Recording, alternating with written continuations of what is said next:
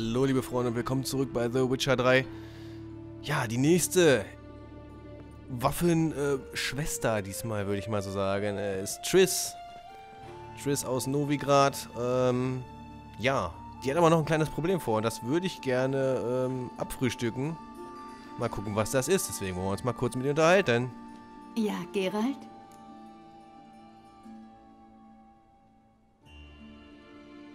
Worum geht es? Ich habe eine seltsame Nachricht erhalten. Ich weiß nicht, was ich davon halten soll. Von wem ist sie denn? Ingrid Wegelbuts Diener hat sie gebracht. Offenbar ist Herrin Wegelbut bereit, eine großzügige Summe zu spenden. Sie will Magiern helfen, aus Novigrad zu entkommen. Das wird kaum ein Akt der Selbstlosigkeit sein. Da hast du recht und genau das ist mein Problem. Sie will einen Gefallen. Leider stehen keine Einzelheiten im Brief. Ich soll den Diener auf dem Fischmarkt treffen. Er muss es mir angeblich persönlich erklären. Aber in diesen Zeiten ist schwer zu sagen, ob es eine gute Idee ist, dahin zu gehen. Das gefällt mir überhaupt nicht. Aber du scheinst entschlossen. Ich lass dich das nicht alleine machen. Ich danke dir. Der Diener. Wie sollst du mit ihm Kontakt aufnehmen? Angeblich erkenne ich ihn. Er trägt eine blaue Tunika und zahlreiche Schlüssel am Gürtel. Ich soll ihn nach seinem Forellenpreis fragen. Wer hatte denn diese Idee? Der Diener oder Wegelbut? Ingrid, wette ich. Adlige Damen haben viel mehr Zeit, Abenteuergeschichten zu lesen als ihre Diener. Es wird wohl besser sein, dass ich mit dem mysteriösen Mann in Blau rede. Er erwartet aber mich. Du wartest in der Nähe. Ich überzeuge mich, dass die Nachricht nicht von den Hexenjägern kam. Dann kommst du. Gut, treffen wir uns dort. Okay, Triss.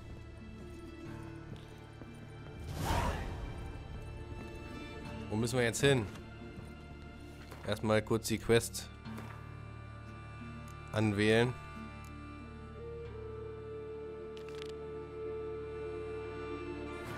Okay. Schon erledigt. Runter geht's. Ah, hier kommen wir nicht raus. Aber dort. Ausgeburt der Hölle!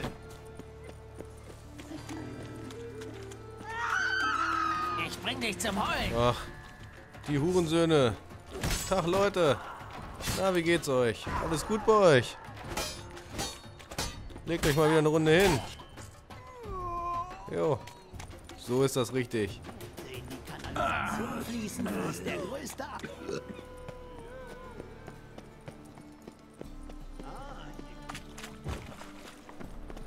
Oh, Bei den Titten einer Mittagserscheinung.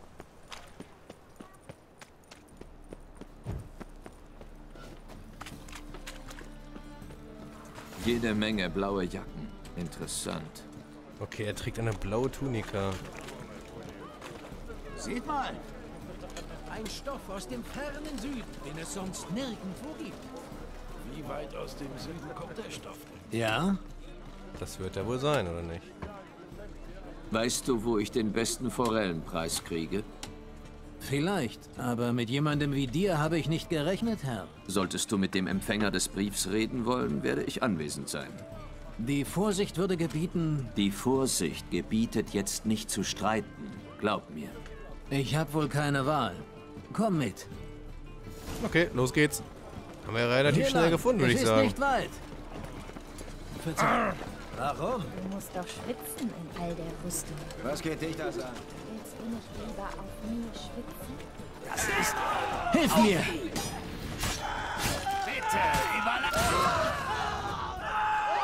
Ja, da fehlt noch einer. Hallo. Danke dir. Gehen wir. Kein Problem. Weiter, los. Was wollten die von dir? Weiß nicht. Ich habe sie noch nie gesehen. Vielleicht, also, neulich hat jemand versucht, unsere Boten auszufragen. Über den jungen Grafen. Warte mal. Wo ist die Herrin Marigold? Du solltest doch alleine kommen, Herrin. Wäre er nicht gewesen, hätten die drei dich zum Verhör mitgenommen. Der Große war Waldo Muris. Der arbeitet für die Hexenjäger. Ja, du hast sicher recht, Herrin. Es war einfach nicht, was ich erwartet hatte. Da Herrin Wegelbut... Also, worum geht es hier? Bitte deutlich. Um den Sohn der Herrin Wegelbut. Er ist das Problem. Meister Albert interessiert sich für Alchemie. Die Tempelwache hat Wind davon bekommen. Um die Wache würde ich mir keine Sorgen machen.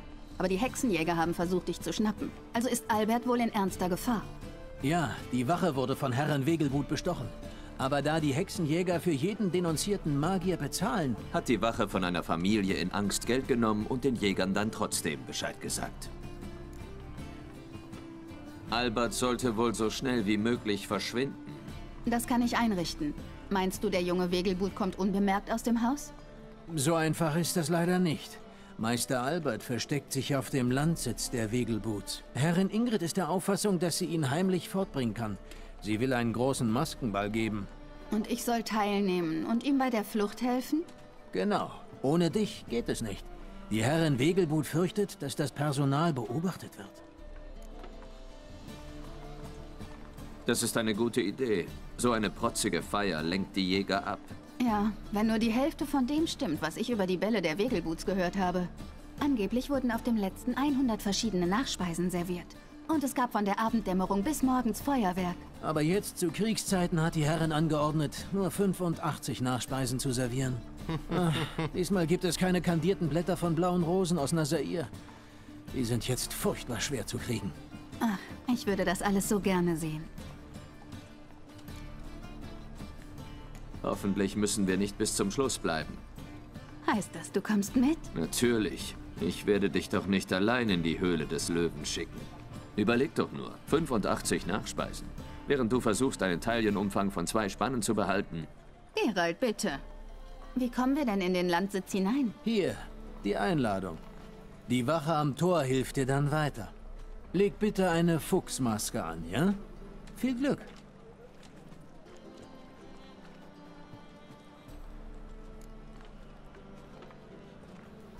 Ja, wir können auch los, ne, oder?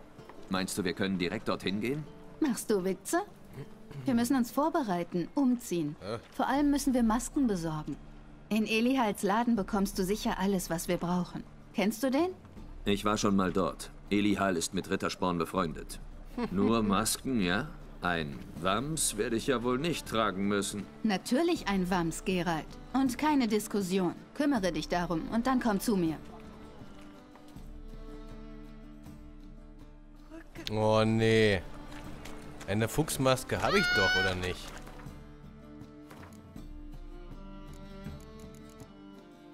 Habe ich die doch nicht? Hä? Oder habe ich die im Lager? Ich habe keine Ahnung. Na, dann gehen wir jetzt einfach mal los. Elihal, oder wie der heißt. Ach ja. Das war doch die... Äh... Die oder derjenige, ne, glaube ich, ne? Der anders äh, war als erschien oder so? Ich weiß es nicht, keine Ahnung, also... Und Zwerg. Uh, Oh, Dornröschen.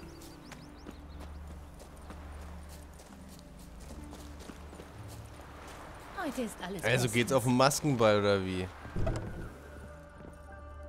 Guten Tag. Hallo, willst du vielleicht meine Frühjahrskollektion sehen?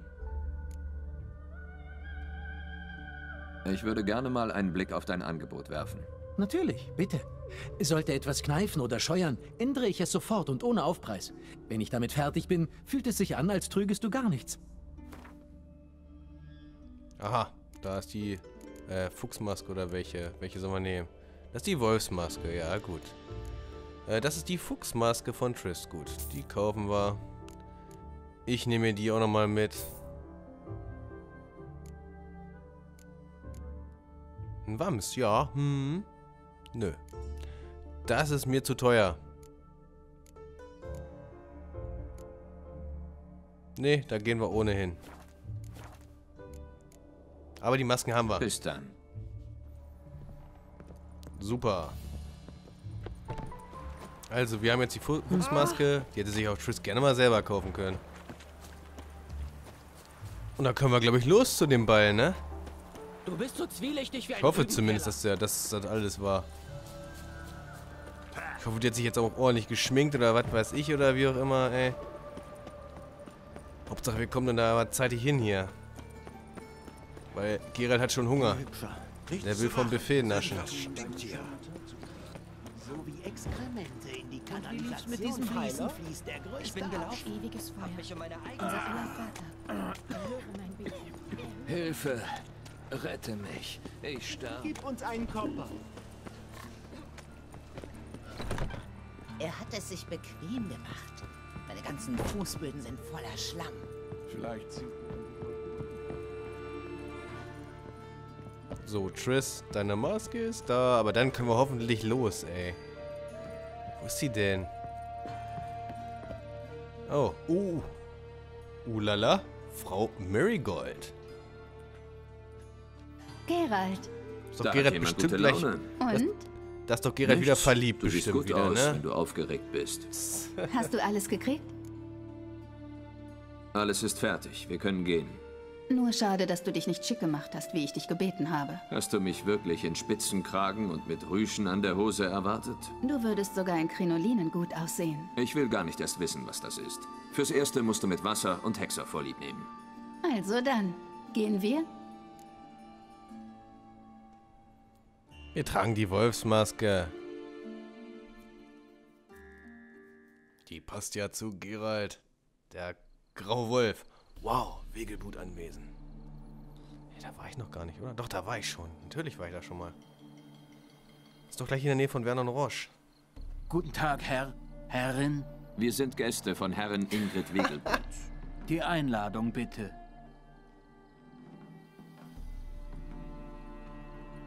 Alles in Ordnung. Ihr findet die Herren Wegelbut im Hof des Anwesens. Sucht nach einer Papageienmaske. Eins noch. Lasst bitte eure Schwerter hier.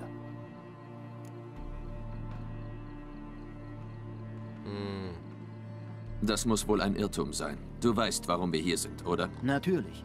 Aber ich habe den Auftrag dafür zu sorgen, dass die Gäste das Anwesen unbewaffnet betreten. Verdammt. Ich wünsche einen angenehmen Abend. Es ist Gerald schön hier. ohne Sachen. Ich bin ewig Oh, nicht aus der Stadt rausgekommen. Sieh zu, Triss. Na, na, nun wein doch nicht. Er ist doch nicht der einzige Mann. Wo will die denn hin? Nun tu nicht so, als ob du mich nicht kennst. denn? Hä? Ist das eine Art, einen alten Kumpel zu behandeln? Ihn einfach zu ignorieren? Da liegt ein Irrtum vor. Wir kennen uns nicht. Sei nicht albern, Vivian. Ich würde deine Mähne überall erkennen. Jetzt spielst du wohl die feine Dame.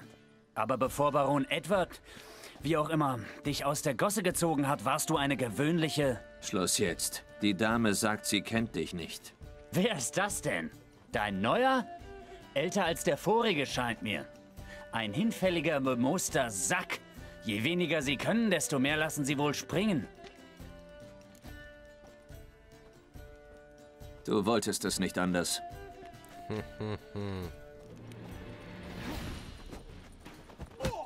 Wir sollten doch keine Aufmerksamkeit erregen. Was? Ist doch nichts passiert. Ist doch nichts passiert, stimmt. Würde ich auch so sehen. Sieh zu, dass du alleine gewinnst hier, Jong.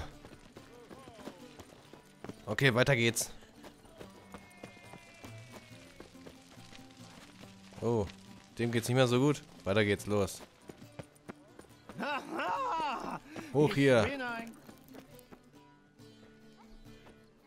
Moritz, was machst du denn hier? Die kleine Marigold, na sowas. Und ich dachte, das hier wäre eine Veranstaltung mit Klasse. Ja, du hast mir auch gefehlt. Aber können wir das jetzt lassen? Kommst du aus Novigrad raus? Du kannst dich uns anschließen, wenn du willst.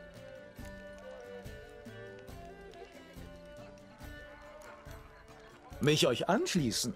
Und wer wäre das wohl? Unter anderem deine Freunde. Sobald alle versammelt sind, führe ich euch. Du führst? Vergib mir, Marigold, aber da kann ich mich ja gleich von einer lahmen Ente führen lassen. Mach's gut. Kam wohl nicht so gut an. Wer war das? Er ist ein alter Freund, Moritz Diefentiel. Ich erzähle dir die Geschichte ein andermal. Hm, hat nicht viel gebracht. Hier müssen wir durch. Oh, sehen wir uns um. So, wo ist sie? Zeit in Rubine zu investieren. Für einen Rivia regnet es nie, stimmt? Wo ist denn die? Zack. Du stachst schon Hier ist keiner. Wer ist es diesmal? Dann sagte ich, Da ist sie. Das ist der Papagei. Ha. Entschuldigt mich kurz. Du bist... Ja, ich bin es. Die Forellenkundin. oh ja, natürlich. Entschuldige die Vorsicht, aber können wir irgendwo allein sprechen?